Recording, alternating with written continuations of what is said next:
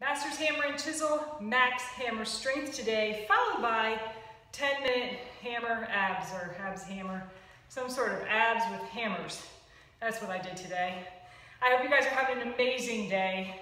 Find something that you love to do to move your body and you'll stay consistent. That's my tip for you today.